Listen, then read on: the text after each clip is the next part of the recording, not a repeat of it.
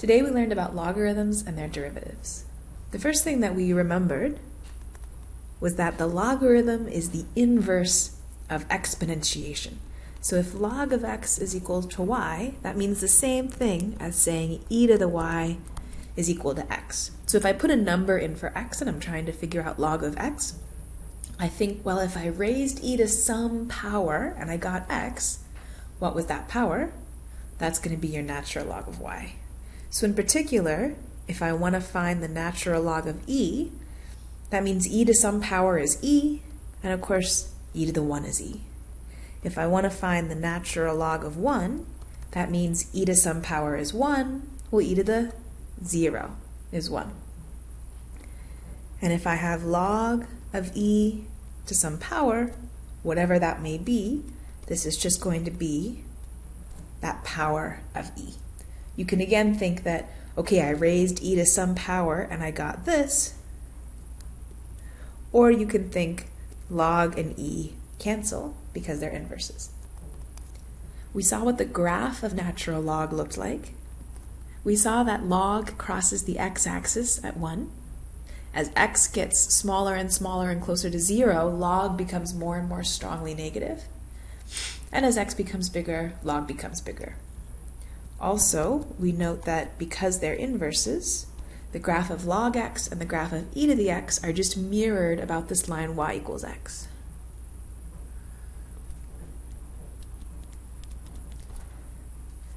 We also learned some rules for dealing with logarithms. If I have the log of a product, I can rewrite it as the sum of the logs of the things I was multiplying. Similarly, if I have the log of a ratio, I can pull apart that ratio and write it as log A minus log B. And if I have log of something to a power, I can pull down the power. Now, of course, log should exist for all of these things, so in particular, A and B should be positive. We also briefly saw the base change formula. I can change the base of my logarithm. If I want to find the log base b of a, I can pick any positive c that I want, and this is going to be equal to log base c of a over log base c of b. So for instance, this is going to be equal to natural log of a over natural log of b. It's also going to be equal to log base 2 of a over log base 2 of b. We can differentiate logarithm using implicit differentiation. If log of x equals y, I want to find y prime. But remember, this is the same as saying e to the y is equal to x. So I can differentiate both sides implicitly. Well, the right-hand side is just going to be 1.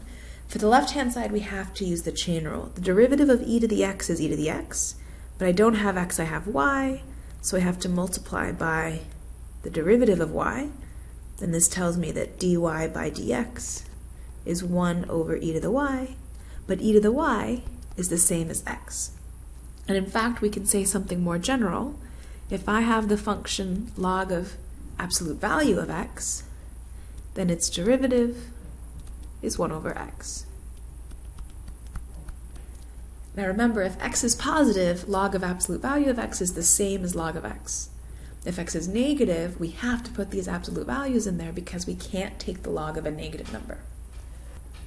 If we think about the chain rule, this means that the derivative of log of a function that's not 0 because we can't take the natural log of 0, well, if that function were x, the derivative would be 1 over x, but it's not its f of x, so we have to multiply by the derivative.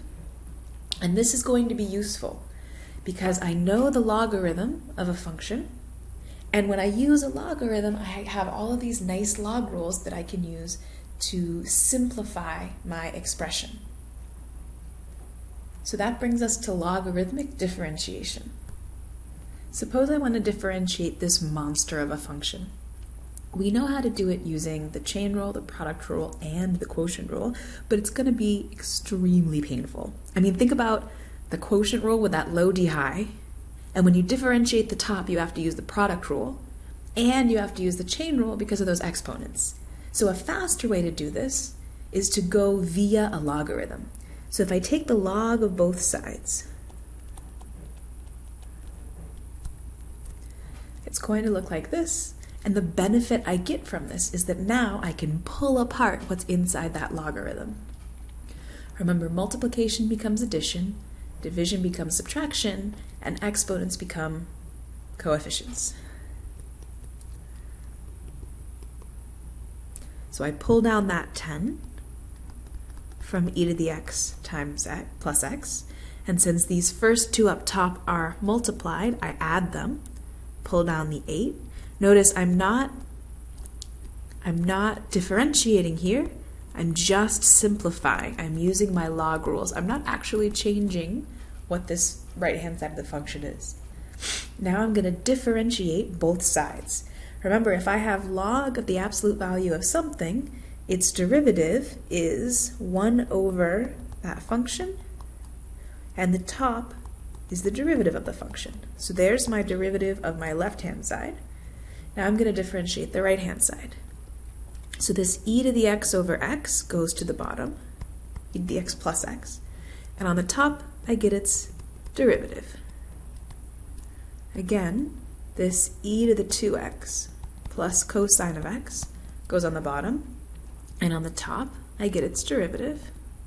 And cotangent of x plus cosecant of x goes to the bottom. And on the top, I get its derivative. Now if I want to find f prime of x, all I have to do is multiply both sides by f of x. Now it's not going to be simplified, but that's fine. So here's f of x, and I multiply it by the right-hand side of the function. It's not pretty, but it's my derivative. The last thing we can do with logarithmic differentiation is we can differentiate a kind of function that we couldn't differentiate before, a function to a function. Suppose I want to differentiate this function. Well, I don't know how to do it right now, but I can set it equal to y and take the log of both sides. Now I can simplify and differentiate implicitly. So for the left-hand side, I take the first times the derivative of the second plus the second times the derivative of the first. And for the right, I have to remember my chain rule. So now to find y prime, I just multiply both sides by y, which was x to the x squared plus x.